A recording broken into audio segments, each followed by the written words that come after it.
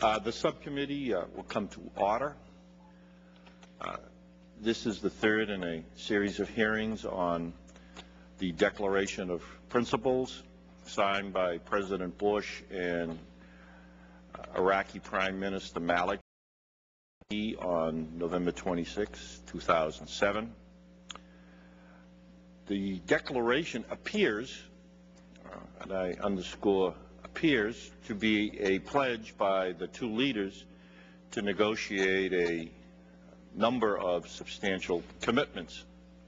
Most significantly, the declaration suggests uh, an indefinite U.S. military presence in Iraq with multiple responsibilities to be assumed by our armed forces. Let me read into the record excerpts from the declaration which, re, which reflect some of the most significant of those responsibilities. Supporting the Republic of Iraq in defending its democratic system against international and external threats. Providing security assurances and commitments to the Republic of Iraq to deter foreign aggression against Iraq that violates its sovereignty and integrity of its territories, waters, or airspace. Supporting the Republic of Iraq in its efforts to combat all terrorist groups, at the forefront of which is al-Qaeda, Saddamists, and all other outlaw groups, regardless of affiliation, and destroy their logistical networks and their sources of finance, and defeat and uproot them from Iraq. I would note that the, declara the Declaration of Principles is not just about military commitments, but also includes a broad political and economic agenda that involves significant and possibly open-ended commitments and obligations. For the third time in three months, we have invited the administration to explain the import of this document to the Congress and to the American people. And for the third time, they have declined our invitation. I'd note for the record, on January 29th, Chairman Tom Lantos sent in an invitation to the Secretary of, of State, Condoleezza Rice, asking her or someone she designated to testify at this hearing. The State Department responded that no representative would appear on the grounds that the agreement to, to be negotiated was still preliminary. This seems to contradict a January 25th New York Times report that a 15-page draft proposal does, in fact, exist. The State Department informed me that Ambassador David Satterfield would be briefing members of the Foreign Affairs Committee in classified session yesterday. I could have attended that briefing and, according to the State Department, could have asked unclassified questions and received unclassified responses that I then could discuss in public. Well, I find that unsatisfactory. It's my position that the American people have a right to be fully and directly informed as to the intentions of this administration regarding any agreement with the government of Iraq. The American people have ideally for that right.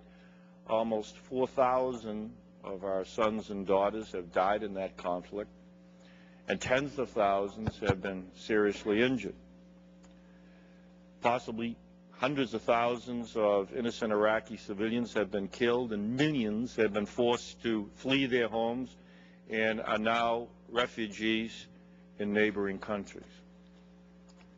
Furthermore, the financial cost of this war is on its way to a trillion dollars with no end in sight. And the record of this administration in terms of consulting with Congress has been abysmal. As Senator Hagel, uh, our Republican colleague in the other body, has said in regards to the run-up to the war, the Bush administration considered Congress, and these are his words, to be an adversary, an enemy, in fact, that's what he said, and a constitutional nuisance. Well, so be it. We will be a nuisance. I find it particularly disturbing that the Bush administration has even ignored State Department regulations requiring that, and again, I'm reading from DOS, the Department of State regulations, the following. The appropriate congressional leaders and committees are advised of the intention to negotiate significant new international agreements, consulted concerning such agreements, and kept informed of developments affecting them. I've checked with the House leadership, and I've checked with the leadership committee, as well as that of the House Armed Services Committee, and there has been no such consultation unless you count the classified briefing that occurred yesterday. There has been one exception to this lack of consultation and transparency, and that occurred just this week. Secretary Gates appeared before the Senate and House Armed Services Committee on Wednesday and seemed to minimize the declaration of principles as nothing more than a uh, press release.